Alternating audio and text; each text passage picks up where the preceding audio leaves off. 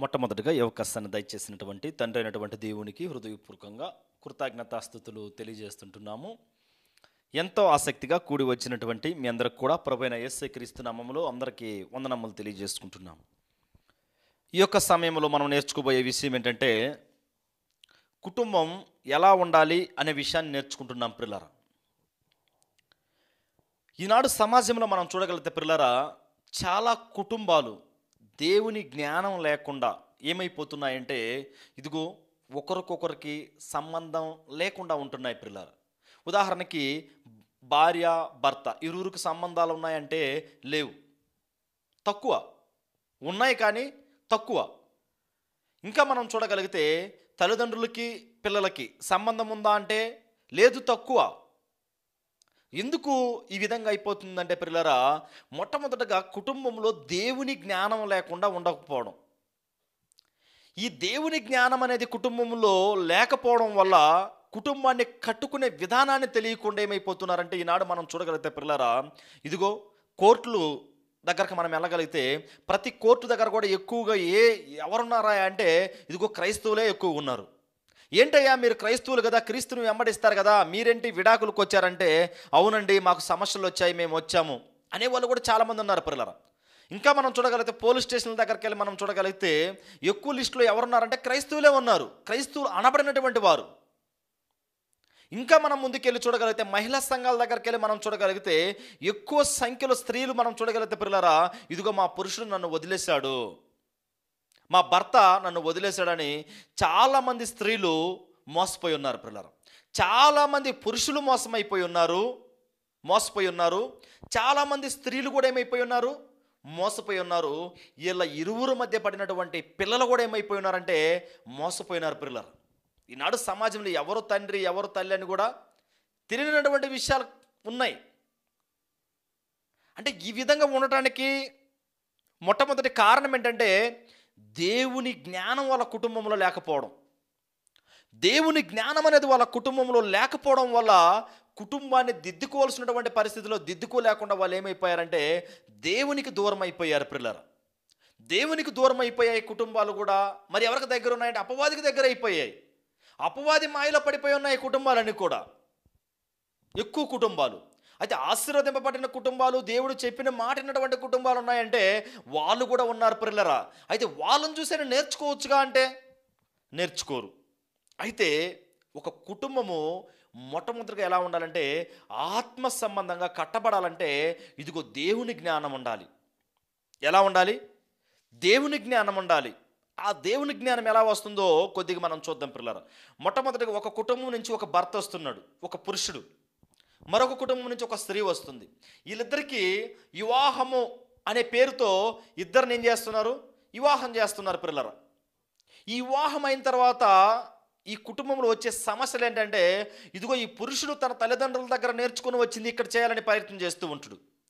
ఈ స్త్రీ ఉంది కదా వాళ్ళ కుటుంబంలో తల్లిదండ్రుల దగ్గర నేర్చుకున్నటువంటి విషయాలు తన భర్త దగ్గర చేయాలని ప్రయత్నిస్తుంది. కానీ భర్తకు నచ్చదు. ఈ భర్త కూడా తల్లిదండ్రుల దగ్గర ఏమైతే నేర్చుకున్నాడో భార్య దగ్గర చేయాలని చూస్తుడు అయితే భార్యకి నచ్చదు. ఎక్కడ పొరపడిపోతున్నారంటే ఈ వీళ్ళు విరువురుడు కూడా ఇదిగో పురుషుడు తన తల్లిదండ్రుల దగ్గర నేర్చుకుని వచ్చింది తన భార్య దగ్గర చేయకూడదు. అదిగో స్త్రీ తన తల్లిదండ్రుల దగ్గర నేర్చుకొని వచ్చింది తన కుటుంబంలో చేయకూడదు. మరి ఏం చేయాలి? మరి ఏం చేయాలంటే ఇలా ఇరువురు కలిసి దేవుని జ్ఞానం ఏంటి అనేది నేర్చుకోవాలి పిల్లల మొట్టమొదటిగా. ఇలా ఇరువురు కలిసి దేవుని జ్ఞానాన్ని కానీ నేర్చుకోగలిగితే ఆ కుటుంబం ఆత్మ సంబంధమైనటువంటి కుటుంబంగా కట్టబడద్దు పిల్లలు. ఆత్మ సంబంధమైనటువంటి కుటుంబంగా తన పిల్లలు కూడా తనలో నుంచి వాళ్ళ నుంచి వచ్చే పిల్లలు ఆత్మ సంబంధులుగా మారబోతారు పిల్లలు. ఈ విధంగా దేవుడు ప్రారంభంలోనే వివాహం అనేది వ్యవస్థ చేసి ఒక కుటుంబాన్ని ఏర్పాటు చేశాడు పిల్లలు. ఇంకా దాని తర్వాత ఈ కుటుంబాలన్నీ కూడా ఇలానే ఉండాలని దేవుడు కోరుకున్నాడు. కానీ అపవాది ఏం చేస్తుందంటే ఈ కుటుంబంలో వచ్చేసి ఇలా ఇరువురికి లేనిపోని సమస్యలు పెట్టి వాళ్ళని విడదీయడం జరుగుతుంది పిల్లలు. వాళ్ళని విర విడదీయడం జరుగుతుంది. అందుకే మనము ఈ యొక్క కుటుంబం గురించి ఎలా ఉండాలి అనే విషయాన్ని మనం నేర్చుకుంటున్నాం పిల్లరా ఈ కుటుంబం అనేది మొట్టమొదటిగా ఎలా ఉండాలంటే దేవుని జ్ఞానం చొప్పున నడవాలి. దేవుడు చెప్పిన విధంగా కుటుంబం అంటే భర్త నడవాలి మొట్టమొదటిగా. ఇక్కడ చూద్దాం మనం. ఒక్కసారి మనం చూడగలిగితే భర్త కలిగి ఉండవలసినటువంటి దేవుని జ్ఞానం ఏంటి మనం చూద్దాం పిల్లర భర్త కలిగి ఉండవలసినటువంటి దేవుని జ్ఞానం మొట్టమొదటిగా మనం చూద్దాం. చూడగలిగితే పేతురు రాసిన మొదటి పత్రిక మూడవ అధ్యాయం ఏడవ వచనం. పేతురు రాసిన మొదటి పత్రిక మూడవ అధ్యాయం ఏడవ వచనం మనం చూద్దాం. అటువలే పురుషులారా జీవమును కృపావలములో మీ భార్యలు మీతో పాలివారై ఉన్నారని ఎరిగి ఎక్కువ బలహీనమైన ఘటమని భార్యను సన్మానించి మీ ప్రార్థనలకు అభ్యంతరం కలుగుకున్నట్లు జ్ఞానము చొప్పున వారితో కాపురము చేయడి అంటున్నాడు పిల్ల ఇక్కడ మొట్టమొదటగా భర్తకి ఒక జ్ఞానాన్ని దేవుడు నేర్పిస్తున్నాడు. ఈ జ్ఞానము లేకుండా కానీ భర్త కుటుంబంలో ప్రవర్తించగలిగితే ఆ కుటుంబము ఆత్మ సంబంధమైనటువంటి కుటుంబంగా మారదు పిల్లర. ఆత్మ సంబంధమైనటువంటి కుటుంబంగా కట్టబడదు. ఈ ఆత్మ సంబంధమైనటువంటి కుటుంబంగా కట్టబడ కట్టబడకపోవడానికి కారణం ఏంటంటే దేవుడు చెప్పిన విధంగా నడుచుకోకపోవడం భార్య దగ్గర. దేవుడు చెప్పినట్టు భార్య దగ్గర నడుచుకోకపోవడం ఏంటంటే కుటుంబానికి దూరం అయిపోతున్నాడు తన భార్యను దూ విడనాడుతున్నాడు బిర్లర్. అంటే భర్త ఉండవలసినటువంటి దేవుని జ్ఞానం ఏంటంటే ఇక్కడ బాగా గమనించగలిగితే జీవమును కృపావరణం మీ భార్యలు మీతో పాలివారై ఉన్నారు ఎరిగి మీతో పాలివారై ఉన్నారని ఎరిగి ఎక్కువ బలహీనమైనటువంటి ఘటమని కూడా మనం ఏం చేయాలి వాళ్ళని? సన్మానించాలి అంటున్నారు పిల్లరా ఎక్కువ బలహీనమైనటువంటి ఘటమని భార్యను సన్మానించి ఉన్నారా? భార్యను సన్మానించే వాళ్ళు? ఈనాడు మనం చూడగలిగితే పిల్లరా వాక్యాన్ని బోధించే వాళ్ళే. ఇదిగో ఈ బైబిల్ పట్టుకొని ఈ వాక్యాన్ని బోధించే వాళ్ళు ఏమైపోయినారంటే ఈ యొక్క సన్మానం అనేది తెలియకుండా సొంత భార్యలను విడిచిపెట్టి వివాహం చేసుకున్నటువంటి ఆ భార్యల్ని విడిచిపెట్టి మరొకరిని వివాహం కావడం. చాలా తప్పు పిల్లరా ఇది. క్షమించలేనటువంటి తప్పు అంటున్నాడు దేవుడు. అంటే భర్త మొట్టమొదటగా ఉండవలసినటువంటి జ్ఞానం ఏంటంటే మీ భార్యల్ని సన్మానించండి అంటున్నాడు. ఎలా సన్మానిస్తున్నారు ఈనాడు? ఈనాడు మనం చూడగలిగితే పిల్లరా అంటే మన పేర్లు ఎవరై వద్దు కానీ వాస్తవంగా ఏంటంటే సువార్థికుల్లో మేము గొప్ప గొప్ప వారం అనబడినటువంటి వారే ఏంటంటే ఇద్దరిద్దరు భార్యలు. అంటే సొంత భార్యను విడిచిపెట్టి వేరొకరిని వివాహం చేసుకోవడం. ఇదేనా దేవుడు చెప్పింది? అంటే ఎక్కడ నేర్చుకున్నాడు ఈ జ్ఞానం ఇతను? ఎక్కడ నేర్చుకున్నాడు ఇతను? ఈ జ్ఞానం అంటే పిల్లరా ఇదిగో అపవాది దగ్గర. అపవాది దగ్గర నేర్చుకొని తన కుటుంబాన్ని పాడు చేసుకొని తన సొంత భార్యని వదిలిపెట్టి మరొకరిని వివాహం చేసుకోవడం. ఇలే కదా కోర్టుల దగ్గర పోలీస్ స్టేషన్ల దగ్గర మహిళా సంఘాల దగ్గర ఇంకా వగ- వగర వగర ఉంటాయి కదా పెద్ద పెద్దలు. సంఘ పెద్దలు అనేవాళ్ళు గ్రామాల దగ్గరికి వెళ్తే సంఘ పెద్దల దగ్గరికి వెళ్ళడం విడాకులు తీసుకోవడం. ఇదేనా దేవుడు నేర్పించింది. ఈ విధంగా దేవుడు నేర్పించలా పిల్లరా అని అంటున్నాడు నీ ఎక్కువ బలహీనమైనటువంటి ఘటమని ఎరిగి నీ భార్యను మొట్టమొదటిగా సన్మానించు. చాలామంది కూడా ఫోన్లు చేస్తూ ఉంటారు పిల్లరా ఏమని ఫోన్లు చేస్తూ ఉంటారంటే ఇదిగో అన్నయ్య మా భర్త ఇలా చేస్తున్నాడు చర్చికి వెళ్తాడు అన్నీ ఉన్నాయి కానీ మరొక ఆమెతో సంబంధం ఉందన్నయ్య. మరొకరితో సంబంధం పెట్టుకుని ఉన్నాడు అని తెలియపరిచే వాళ్ళు అక్కలు కానీ చెల్లెమ్మలు కానీ చాలామంది ఉన్నారు పిల్లలు అయితే వాస్తవం ఏంటంటే వాస్తవం ఏంటంటే దేవుని జ్ఞానం అనేది వాళ్ళలో లేకపోవడం బట్టే ఏమవుతున్నారంటే తన భార్యని విడిచి వేరొకరిని హత్తుకుంటున్నారు. దాన్ని బైబిల్ ఏం చెప్పిందంటే వ్యభిచారము అని చెప్పింది పిల్లలు ఏం చెప్పింది? వ్యభిచారము అని చెప్పింది. అయితే వ్యభిచారము అనేది తెలిసి కూడా వీళ్ళు ఏం చేస్తున్నారంటే అనేక మందికి వాక్యాన్ని ప్రకటిస్తున్నారు. అనేక మందికి మేము రక్షణలో తీసుకొచ్చామని భ్రమలో ఉన్నారు. కానీ వాళ్ళు తీసుకొచ్చే ఆ రక్షణ రక్షణ కాదు. వాళ్ళు నడిపించే ఆ నడిపించే ఆ విధానం కాదు. దేవుడు ఆ విధంగా కోరుకోలా. ఇక్కడ చూద్దాం. ఎక్కువ బలహీనమైనటువంటి ఘటమని భార్యను సన్మానించి మీ ప్రార్థనలకు అభ్యంతరం కలుగకుండా నిమిత్తము జ్ఞానము చొప్పున వారితో కాపురం చేయడే. మొట్టమొదటగా జ్ఞానము చొప్పున కాపురం చేయమంటున్నాడు పిల్లర భర్తకి. అయితే రెండోదిగా మనం చూడగలిగితే ఎపిఎస్సి పత్రిక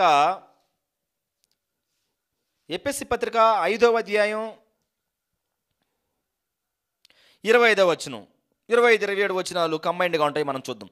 పురుషులారా మీరును మీ భార్యలను ప్రేమించుడి అటువలే క్రీస్తు కూడా సంఘమును ప్రేమించి అది కలంకమైనను ముడతైనను అట్టిది మరి ఏదైనను లేక పరిశుద్ధమైనదిగాను నిర్దోషమైనదిగాను మహిమగల సంఘముగాను ఆయన తన ఎదుట దానిని నిలువ పెట్టుకున్న వలనని వాక్యముతో ఉదక స్థానం చేత దానిని పవిత్రపరిచి పరిశుద్ధపరచు పరచుటకై దాని కొరకు తన్ను తాను అప్పగించుకొనెను. అయితే ఇక్కడ మనకి ఈ రెండో సందర్భం మనం చూడగలిగితే పిల్లరా మొదటి దాంట్లో ఏ పాయింట్ మనం చూసాం బి పాయింట్ మనం చూడగలిగితే పిల్లలు ఈ బి సందర్భంలో మనకి ఏం చెప్తున్నాడంటే రెండోదిగా ప్రేమించండి.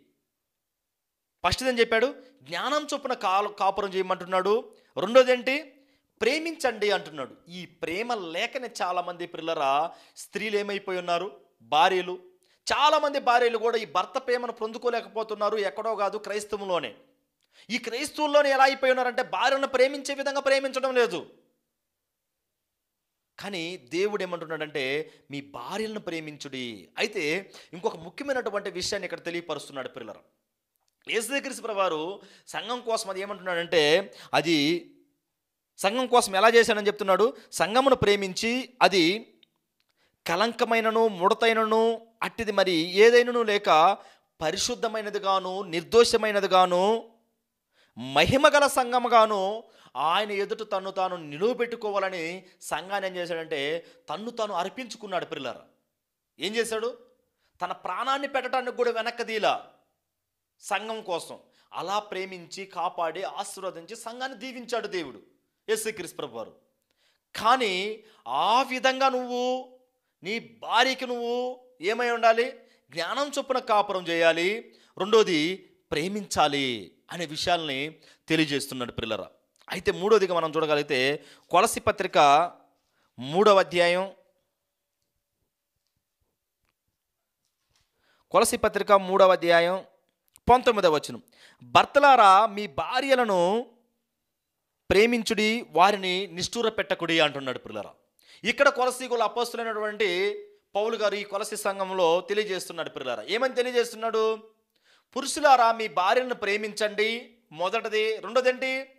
నిష్ఠూర పెట్టకండి అంటున్నాడు పిల్లరా. ఏమంటున్నాడు? ప్రేమించండి నిష్ఠూర పెట్టకండి. సి సందర్భంలో. ఏ చూసాం ఏం చెప్పాడు? జ్ఞానం చొప్పున కాపురం చేయమంటున్నాడు. అది దేవుని జ్ఞానమై ఉండాలి. అయితే రెండోది ప్రేమించండి సి. క్షమించండి బి. బి సందర్భంలో ఆయన చెప్పిన మాట ఏంటంటే ప్రేమించండి. సిలో ఏం చెప్పాడంటే నిష్ఠూర పెట్టకండి. అయితే నాలుగు ఇందులో డి మనం చూడగలిగితే పిల్లరా ఈ డి సందర్భంలో ఆయన చెప్పే మాట ఏంటంటే మొట్టమొదటిగా నరుని కోపం దేవుని నీతిని నెరవేర్చదు అని తెలియజేస్తున్నాడు పిల్లరా. నరుని కోపం దేవుని నీతిని నెరవేర్చదు. యాకో పత్రిక మొదటి అధ్యాయం ఇరవై వచ్చిన చెప్తున్నాడు. ఒకవేళ ఇవన్నీ వదిలేసి కానీ నువ్వు కోపడ్డావా ఇవన్నీ కానీ వదిలేసి నువ్వు కానీ కోప్పడితే ఆ మొత్తం కూడా ఏమైపోతుందంటే వ్యర్థమైపోతుంది. అయితే ఇందులో మనం చూసినటువంటి సందర్భం ఏంటంటే పిల్లరా ఇదిగో కుటుంబము పట్ల అంటే భార్య పట్ల భర్త ఉండవలసినటువంటి దేవుని జ్ఞానం ఏంటి ఈ విధంగా ఉందా జ్ఞానం?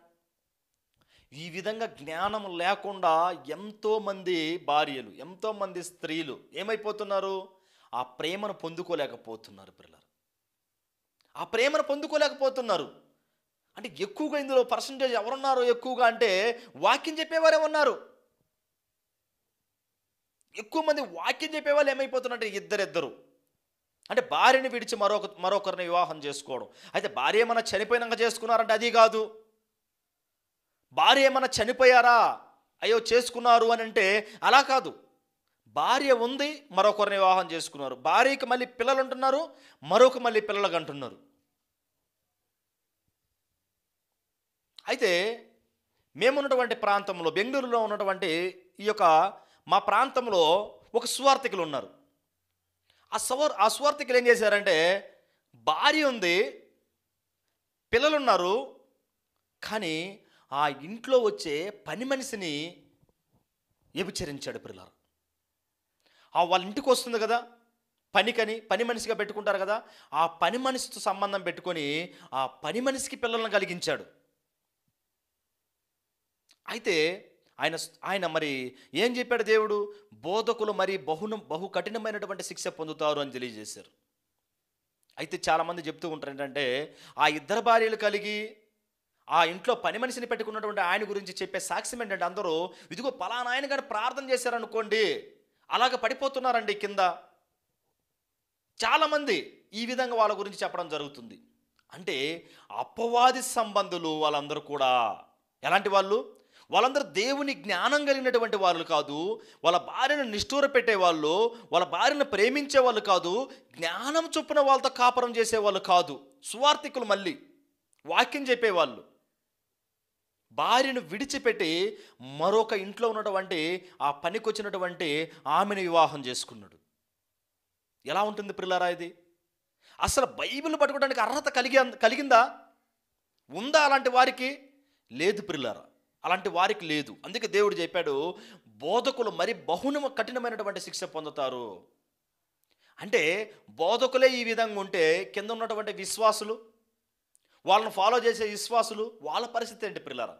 అయితే ఏది ఏమైనా కూడా ఒకవేళ ఈ వాక్యం ద్వారాగా మనము మన హృదయాలు మార్చుకోవాలి పిల్లరా? ఒకవేళ ఆ విధంగా ఎవరైనా ఉంటే మీ భార్యని ప్రేమించండి నిష్ఠూర పెట్టకండి వాళ్ళు దేవుని జ్ఞానం చొప్పున కాపురం చేయండి. మీ తల్లిదండ్రుల దగ్గర ఏదైతే నేర్చుకుని వచ్చారో అది మీ భార్య దగ్గర కాపురం చేయగక్కండి ఆ యొక్క మీ తల్లిదండ్రుల దగ్గర నేర్చుకుని వచ్చిన అలవాట్లు మీ భార్య దగ్గర పెట్టకండి. మరేంటి? దేవుని జ్ఞానంతో మీ భార్యల దగ్గర కాపురం చేయండి. దేవుని జ్ఞానం చొప్పున మీ భార్యలతో కాపం చేయండి అని దేవుడు కోరుతూ ఉన్నాడు పిల్లరా. అయితే ఇందులో రెండోదిగా మనం చూడగలదా పిల్లరా రెండో సందర్భం భర్త పట్ల భార్య ఉండవలసినటువంటి దేవుని జ్ఞానం ఏంటి అనే విషయాన్ని మనం చూద్దాం పిల్లరు. ఇప్పుడు భర్త ఉండవలసినటువంటి దేవుని జ్ఞానం ఏంటి? భార్య పట్ల అని చూసాం. అంటే ఇక్కడ మనం చూడగలిగితే పిల్లరా స్త్రీలు భార్యలు. అంటే భార్యలకు లోబడాల్సినటువంటి లో విధానంలో మొట్టమొదటగా లోబడకపోవడమే కుటుంబ వ్యవస్థ చెడిపోతుంది. ఉదాహరణకి భర్త ఎక్కడైనా మాట్లాడుతున్నాడు అనుకోండి ఎదురెళ్ళి అలాగే మాట్లాడడం. భర్త ఎక్కడైనా నిలబడడం ఉన్నాడు అనుకోండి అక్కడికి వెళ్ళి గొడవ పెట్టుకోవడం. అంటే ఎక్కడ ఏం మాట్లాడాలో ఎలా ఎక్కడ ఎలా ప్రవర్తించాలో కూడా తెలియడం లేదు ఈనాడు. అలా తెలియకపోవడం వల్ల భర్త కోపం పుడుతుంది ఆ పబ్లిక్లోనే కొడతాడు. తర్వాత ఏమైపోతుంది? కాపురాలు చెడిపోతున్నాయి. ఇంకా మనం చూడగలిగితే పిల్లలు ఈ క్రైస్తవ కుటుంబంలో భర్త ఉండగానే మరొక పురుషుణ్ణి ఆశ్రయించడం మరొకరితో సంబంధం పెట్టుకోవడం. మరి భర్త ఒప్పుకుంటాడా? అందుకే దేవుడు రాయించాడు భర్తకు పుట్టు కోపము మహారౌద్రము భర్తకు పుట్టు కోపము మల మహారౌద్రము అని చెప్పాడు పిల్లర అంటే స్త్రీ ఉండవలసినటువంటి దేవుని జ్ఞానం ఏంటి? అంటే ఇదిగో తల్లిదండ్రుల దగ్గర ఏమైతే నేర్చుకొని వచ్చిందో తన భర్త దగ్గర చేయకూడదు స్త్రీ. మరేంటి? ఈ స్త్రీ చేయవలసినటువంటి మొట్టమొదటి పని ఏంటంటే దేవుని జ్ఞానంతో తన భర్త దగ్గర కాపురం చేయాలి. దేవుని జ్ఞానంతో తన భర్త దగ్గర కాపురం చేయగలిగితే ఆ కాపురం ఆశీర్వదించబడద్ది పిల్లల. దాని తర్వాత వాళ్ళలో వచ్చే పిల్లలు ఉన్నారు కదా వాళ్ళలో వచ్చే పిల్లలు కూడా గొప్ప ఆశీర్వదింపబడినటువంటి బిడలుగా మారిపోతారు పిల్లలు. ఈ విధంగా ఏమవుతుందంటే కాపురం అనేది దేవుని జ్ఞానంతో చేయాలి భర్త దగ్గర ఆ స్త్రీ. చూద్దాం మొట్టమొదటిగా. ఇందులో రెండో సందర్భంలో ఏ పాయింట్ మనం చూద్దాం? స్త్రీ ఉండవలసినటువంటి దేవుని జ్ఞానం ఏంటి అనే విషయాన్ని మనం చూడగలిగితే పిల్లరా పేతురు రాసిన మొదటి పత్రిక. మూడవ అధ్యాయం. మూడవ అధ్యాయం మొదటి నుంచి ఆరు వచ్చినాలు మనం చూద్దాం పిల్లలు. అటువలే స్త్రీలారా మీ స్వపురుషులకు లోబడి ఉండుడి అంటున్నారు. అటువలే స్త్రీలారా మీ స్వపురుషులకు అంటే సొంత పురుషులకు మీ సొంత భర్తకు లోబడి ఉండడి అనే విషయాన్ని నేర్పిస్తున్నాడు పిల్లరా. ఉందా? లోబడుతున్నారా ఈనాడు? చాలా తక్కువ లోపడ్డం అంటే. అసలు నువ్వెంత అంటే నువ్వెంత అనుకునే స్థితి ఇప్పుడు? ఉంటే నీ దగ్గర ఉంటాను లేకుంటే వెళ్ళిపోతాను అమ్మ అమ్మగారింటి దగ్గరికి అని వెళ్ళిపోతున్నారు పిల్లలు సర్దుకొని. అంటే దేవుడు ఏమి నేర్పిస్తున్నాడు? అటువలే స్త్రీలారా మీరు మీ స్వపురుషు స్వపురుషులకు లోబడి ఉండడి. రెండోది అందువలన వారిలో ఎవరైనాను వాక్యమునకు అవిధేయులైతే వారు భయముతో కూడిన మీ పవిత్ర ప్రవర్తనను చూసి వాక్యము లేకుండానే తమ భార్యల నడవడ వలన రాబడి వచ్చును అంటున్నాడు పిల్లరా.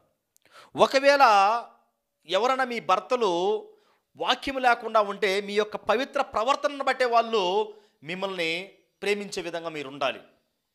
ఉన్నారా? ఈనాడు మనం చూడగలిగితే పిల్లరా ఇదిగో ఒక కోర్టుల దగ్గరికి వెళ్ళి చూడండి ఒకసారి. స్త్రీలు ఎంతమంది వెళ్ళిపోతున్నారు? భర్తలు వెళ్ళిపోతున్నారు. నా భార్య ఇలా మోసం చేసి వెళ్ళిపోయిందండి అని. ఏమైంది? ఈనాడు ఇలా జరుగుతుంది. ఈ మధ్య కాలంలో మన పేపర్లో కూడా చదివి ఉంటాం పిల్లరా న్యూస్ పేపర్లు. చదువుతూ ఉంటే ఇదిగో భార్యాభర్తలు ఇరువురు ఉన్నారు. వాళ్ళకు ఒక చిన్న పాప ఉంది. ఒక పది పదకొండు సంవత్సరాల పాప ఉంది. ఈ పది పదకొండు సంవత్సరాల పాప ఉంటే ఈ యొక్క భర్త ఏం చేసేవాడంటే లారీ డ్రైవరు. లారీ డ్రైవరు అదిగో అక్కడక్కడ లారీలో వెళ్తూ ఉంటారు కదా లారీలో వెళ్ళిపోతూ ఉంటారు ఎప్పుడు వస్తారో కూడా ఇంటికి తెలియదు భర్త వెళ్ళిపోయినప్పుడు ఉన్నటువంటి మామగారితో సంబంధం పెట్టుకున్నది. ఈ ఉన్నటువంటి మామగారితో సంబంధం పెట్టుకున్న తర్వాత ఏమైందంటే ఒకరోజు ఆ చిన్న పాప ఉంది కదా ఆ చిన్న పాప చూడ చూడకూడనది చూసింది. వాళ్ళు ఇద్దరు కలిసి ఉన్నప్పుడు. మామ కోడలు. ఇద్దరు కలిసి ఉన్నప్పుడు చూడకూడనటువంటి సందర్భాన్ని ఒకరోజు చూసింది. చూసినప్పుడు ఆ పాపని ఇద్దరు మామ కావచ్చు కోడలు కావచ్చు తల్లి కావచ్చు వాళ్ళిద్దరు పిలిచి నాన్న దగ్గర చెప్పొద్దమ్మా ఇలా మేము ఉన్నామని అని అన్నప్పుడు నా ప్రాణం పోయినా సరే నేను మాత్రం ఈ విషయం మా నాన్న దగ్గర చెప్తానని చెప్పింది ఆ పాప. పది పదకొండు సంవత్సరాల పాప బాగా జ్ఞాపకం తెలిసి ఉంటుంది కదండి. బాగా జ్ఞాపకం వచ్చి ఉంటుంది. కానీ ఏం చెబుతాం అంటే ఇదిగో మీరిద్దరు ఇలా కలిసి ఉన్నారు ఈ విషయాన్ని నేను చెప్పబోతున్నాను మా నాన్న దగ్గర అని చెప్పింది. చెప్పిన తర్వాత అక్కడ జరిగిన సందర్భాన్ని మనం గా బాగా గమనించగలిగితే ఇద్దరు కలిసి ఆ చిన్న పాపను చంపేశారు పిల్లలు. ఇద్దరు కలిసి ఆ పాపని ఇదిగో బట్టలు నోట్లో పెట్టేసి చంపేశారు. చంపేసిన తర్వాత బట్టలు తీసేసి ఏదో మా పాపకి బాగలేదని ఇద్దరు పరుగు పరుగున పరుగు పరుగున హాస్పిటల్కి వెళ్ళారు. పరుగు పరుగున హాస్పిటల్కి వెళ్ళిన తర్వాత అక్కడ పరిశీలన చేయగలిగితే హత్య అని తేలింది పిల్లలు. చంపింది ఎవరు? సొంత తల్లి. ఎవరితో చేరి? సొంత మామగారితో చేరి. సొంత తల్లి మామగారితో చేరి తన సొంత కన్నబిడ్డను కోల్పోయింది. అంటే ఎక్కడ నేర్చుకున్నది ఈ జ్ఞానం? ఇది ఏ జ్ఞానం అంటే ఇదిగో పిల్లలు అపవాది దగ్గర నేర్చుకున్నది తన కుటుంబంలో నేర్చుకుని వచ్చినటువంటి జ్ఞానం. అయితే ఈ జ్ఞానం వల్ల ఏమవుతుందంటే చాలా కుటుంబాలు చాలా కుటుంబాలు ఏమైపోతున్నాయంటే విడిపోతున్నాయి పిల్లల చిన్న పాపను బలి అయిపోయింది కారణం ఏంటంటే కామము. అందుకే చెప్తున్నాడు ఇక్కడ మీ భర్తలు ఒకవేళ వాక్యానికి విధేయులైతే వాళ్ళని మీరేం చేయండి? మీ యొక్క పవిత్ర ప్రవర్తనను బట్టి రాబట్టండి అని అంటున్నాడు పిల్లలు అయితే మూడో వచ్చిన మనం చూడగలిగితే పేతురు రాసిన మొదటి పత్రిక మూడవ అధ్యాయం మూడవ వచనం. జడలు అల్లుకొనుటయు బంగారు నగలు పెట్టుకొనుటయు వస్త్రములు ధరించుకునుట కొనుటను వెలుపటి అలంకారము మీ అలంకారముగా ఉండక సాధువైనట్టుయు మృదువైనట్టైన గుణమును అక్షయ అలంకారం గల మీ హృదయపు అంతరంగ స్వభావము మీకు అలంకారంగా ఉండవలను. అది దేవుని దృష్టికి మిగుల విలువ కలది. మీ అలంకారం ఎలా ఉండాలంటే ఆత్మగా ఉండాలి. ఆత్మలో ఉండాలి అలంకారం. గుణం కలిగినటువంటి అలంకారంగా ఉండాలి. బాహ్య సంబంధంగా అలంకారంగా ఉండకూడదు అని అంటున్నాడు పిల్లలు. ఐదవ వచనం. అటువలే పూర్వము దేవుని ఆశ్రయించిన పరిశుద్ధ స్త్రీలను తమ స్వపురుషులకు లోబడి ఉండుట చేత తమ్మును తాము అలంకరించుకునిరి. అటువలే పూర్వము దేవుని ఆశ్రయించిన పరిశుద్ధ స్త్రీలు తన్ను తాను అలంకరించుకునిరి. తమ స్వపురుషులకు లోబడు చే లోబడుట చేత తమ్మును తాము అలంకరించుకునేది. తన భర్తలకు లోబడుట చేతనే తమ్మును తాము అలంకరించుకున్నారు. ఉదాహరణకి మనం చూడగలిగితే పిల్లరా ఒక శారా అబ్రహాం ఒక ఇసాకు ఒక రిబ్కా ఒక యాకోబు ఒక రాహేలు. ఇంకా పిల్లరా మనం కొరత నిబంధనలో చూడగలిగితే ఒక ఏల్స్బెతు ఒక జేక్రయ ఒక అకుల్లా ప్రిస్కిల్ల ఈ విధంగా ఆత్మ సంబంధమైనటువంటి కుటుంబాలను ఒకసారి మనం చూసినప్పుడు ఏ జ్ఞానంతో పెరిగారా వీళ్ళందరూ అంటే దేవుని జ్ఞానంతో పెరిగారు. మరి ఇక్కడ కూడా స్త్రీలకు చెప్తున్న మాట ఏంటంటే మీ అలంకార విషయంలో కానివ్వండి మీ భర్త ఎడల మీ ప్రవర్తన కానివ్వండి ప్రతిదీ కూడా ఎలా ఉండాలంటే పరిశుద్ధమైనదిగా ఉండాలి. పరిశుద్ధమైనదిగా ఉండాలని దేవుడు కోరుకుంటూ ఉన్నాడు పిల్లర. ఇక్కడ చెప్తున్నాడు ఆరో వచనం ఆ ప్రకారము శారా అబ్రహామును యజమానుడా అని పిలుచుచు అతనికి లోబడి ఉండెను. మీరును యోగ్యముగా నడుచుకొనుచు ఏ భయమునకు బెదరకు ఎడల ఆమెకి పిల్లలగుదురు. ఆ ప్రకారమే అబ్రహామును ఏమని పిలిచింది? యజమానుడా అని పిలిచింది శారా గారు. ఆమె యజమానుడా అని పిలవటానికి కారణం ఏంటంటే ఆమె ఎక్కడ నేర్చుకున్నదంటే దేవుని జ్ఞానాన్ని నేర్చుకుని వచ్చింది అబ్రహాం గారి దగ్గర నేర్చుకున్నది తన కుటుంబంలో నేర్చుకున్నది. నా భర్త ఎలా ఉన్నాడు అని నేర్చుకున్నది. తన తల్లిదండ్రులు ఎలా ఉన్నారు అక్కడ నేర్చుకున్నది. ఒకవేళ అక్కడ నేర్చుకొని రాలేకపోయిన స్థితి మనం ఉంటే కుటుంబంలోకి వచ్చిన తర్వాత మనం బైబిల్లో నేర్చుకోవాల్సినటువంటి విషయాలు ఏంటంటే భర్త దగ్గర నేర్చుకోవచ్చు సంఘంలోనే మనం నేర్చుకోవచ్చు పిల్లల మన ప్రవర్తన విషయములు. ఈ విధంగా నేర్చుకోవచ్చు. ఈ విధంగా ఉన్నటువంటి స్త్రీలు ఉన్నారా అంటే చాలామంది ఉన్నారు పిల్లరా చాలామంది. ఒక అబ్రహాము శారా ఒక ఇస్సాకు రిబ్కా ఒక యాకోబు రాహేలు ఒక అకుల్లా ప్రిస్కిల్లా ఒక ఎలిజబెత్ జాక్రయ్య ఇంకా ఒక మరియా ఏసేపు ఈ విధంగా మనం చూడగలిగితే పిల్లరా అందరూ కూడా ఆత్మ సంబంధంగా కట్టబడ్డారు. ఎలా కట్టబడ్డారు? ఆత్మ సంబంధంగా కట్టబడ్డారు. ఈ విధంగా వీళ్ళు ఇరువురు కానీ దేవునికి ఇష్టానుసారంగా నడుచుకుంటూ ఉంటే ఈ స్త్రీ ఎక్కడ నేర్చుకోవాలంటే ఇదిగో తన కుటుంబంలోనే నేర్చుకొని రావాలి దేవుని భయమి భక్తి అనేది పిల్లలు ఒకవేళ తన కుటుంబంలో నేర్చుకుని రాలేదా? ఇంటికి వచ్చిన తర్వాత తన భర్తను అడిగి నేర్చుకోవాలి. తన భర్త కూడా నేర్పించాలి నేర్పించలేదా? అయితే సంఘానికి వెళ్ళాలి. అయితే సంఘానికి వెళ్ళి ఆ సంఘంలో అడిగి నేర్చుకోవాలి. అయ్యా నా భర్త పట్ల నేను ఏ విధంగా ఉండాలి? అయ్యా నా భార్య పట్ల నేను ఏ విధంగా ఉండాలి? ఈ విధంగా ఉండాలి పిల్లరా కుటుంబం అనేది. ఈ విధంగా కుటుంబాలు కానీ లేకుంటే వాళ్ళ ద్వారా వస్తారు కదా పిల్లలు. వాళ్ళ ద్వారాగా వచ్చినటువంటి పిల్లలు అభివృద్ధి చెందరు. అభివృద్ధి చెందరు. అయితే పిల్లలను కూడా దేవుడు ఏమంటున్నాడంటే పిల్లలకు కూడా మనం చూడగలిగితే పిల్లరా పిల్లల గురించి కూడా దేవుడు ఏమి రాయిస్తున్నాడంటే ఎపిఎస్సి పత్రిక ఆరో అధ్యాయం మొదట వచ్చిన మనం చూడగలిగితే ఇక్కడ చెప్తున్నాడు పిల్లలారా ప్రభువునందు మీ తల్లిదండ్రులకు విధేయులయుండు ఇది ధర్మమే. మీకు మేలు కలుగునట్లు నీ తండ్రిని నీ తల్లిని సన్మానింపము. అప్పుడు నీవు భూమి మీద దీర్ఘాశ్వయంతుడు అగుతువు ఇది వాగ్దానంతో కూడిన ఆజ్ఞలలో మొదటిది. ఏం చెప్తున్నాడు ఇక్కడ? బాగా గమనించగలిగితే పిల్లలారా పిల్లలారా ప్రభునందు మీ తల్లిదండ్రులకు విధేయులైండి అంటే ఒక పురుషుడు కావచ్చు ఎక్కడ నేర్చుకొని రావాలంటే తల్లిదండ్రుల దగ్గర విధేయత నేర్చుకొని మరొక స్త్రీ దగ్గరకు రావాలి. ఒక స్త్రీ తల్లిదండ్రులకు విధేయులై నేర్చుకొని తన భర్త దగ్గరకు రావాలి. అలా ఉన్నటువంటి కుటుంబాలే ఆత్మ సంబంధంగా కట్టబడతాయి పిల్లలు. అలా ఉన్నటువంటి కుటుంబాలు ఎలా ఉండబోతాయి అంటే ఆత్మ సంబంధంగా కట్టబోతాయి. ఆత్మ సంబంధంగా ఉంటాయి. ఇంకా వాళ్ళలో నుంచి వచ్చే పిల్లలు ఆ సంతానం ఎలా ఉంటుందంటే ప్రతి ఒక్కరు కూడా దేవుని కోసమే. ప్రతి ఒక్కరు కూడా దేవుని కోసమే. ప్రతి ఒక్కరు కూడా దేవుని కోసమే. వచ్చినటువంటి ఆ సంతానం అంతా కూడా దైవ సంతానం దైవ సంతానంగా మారబోతుంది పిల్లలు. అయితే పిల్లల గురించి మనం ఎందుకు చూసామంటే పిల్లారా ప్రభునందు మీ తల్లిదండ్రులకు విధేయులైండు ఇది ధర్మమే. నీకు మేలు కలిగినట్టు నువ్వు దీర్ఘాశ్వంతుడిగా ఉండాలంటే భూమి మీద మొదటగా నీ తల్లిని నీ తండ్రిని నువ్వు సన్మానించాలి. ఇప్పుడు అర్థమై ఉంటుంది బాగా మనకి. ఒక భర్త కావచ్చు ఒక భార్య కావచ్చు ఎక్కడి నుంచి వస్తున్నారు వీళ్ళంటే ఇదిగో వేరొక కుటుంబాన్ని నుంచి వస్తున్నారు. భర్త వేరొక కుటుంబం నుంచి వస్తున్నాడు భార్య వేరొక కుటుంబం నుంచి వస్తుంది. అయితే భర్త అక్కడ నేర్చుకున్న నేర్చు మొట్టమొదటిగా ఏం చేయాలని చెప్తున్నాడు? విధేయులుగా ఉండాలి మీ తల్లిదండ్రులకి భర్త. ఈ భార్య కూడా ఆ తల్లిదండ్రులకు విధేయులుగా ఉండి నేర్చుకొని కనుక ఇక్కడ రాగలిగితే ఆ కుటుంబము ఆత్మ సంబంధంగా కట్టబడద్ది. ఆ ఆత్మ సంబంధంగా కట్టబడినటువంటి కుటుంబాలు ఉన్నాయా బైబిల్ అంటే చాలా ఉన్నాయి పిల్లలు. అయితే ఈనాడు మనం చూడగలిగితే పిల్లరా ఆరాధనకు వెళ్తూ ఉంటారు. కానీ శాంతి ఉండదు. ఆరాధనకు వెళ్తూ ఉంటారు. నెమ్మది ఉండదు ఆరాధనకు వెళ్తూ ఉంటారు ఒకరికొకరు మాటలు ఉండవు చాలా కుటుంబాలు పిల్లరా ఎక్కువగా మనం చూడగలం. అది ఎక్కడంటే క్రైస్తవ కుటుంబాలలోనే. ఆరాధనకు వెళ్తూ ఉంటారు భార్యాభర్తలకు మాటలు ఉండవు ఆరాధనకు వెళ్తూ ఉంటారు ఒకరికొకరికి సంబంధాలు ఉండవు మరి ఏంటి? అది విధేయత ఎక్కడ నేర్చుకోమని చెప్తున్నాడు? మీ తల్లిదండ్రుల దగ్గర నేర్చుకోండి. తల్లిదండ్రులకు విధేయులై ఉండండి. ఆ విధేయత అనేది చిన్నప్పుడే ఒక టీనేజ్ వయసు వచ్చినప్పుడే కుటుంబంలో నేర్చుకోవాలి. ఆ విధేయత అనేది ఇవ్వాలి వాళ్ళకి. ఆ విధేయత అనేది చూపించాలి పిల్లల తల్లిదండ్రుల పట్ల.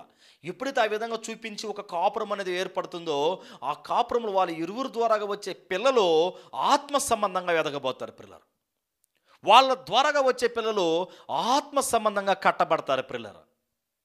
ఈ విధంగా దేవుడు కోరుకుంటున్నాడు పిల్లలు.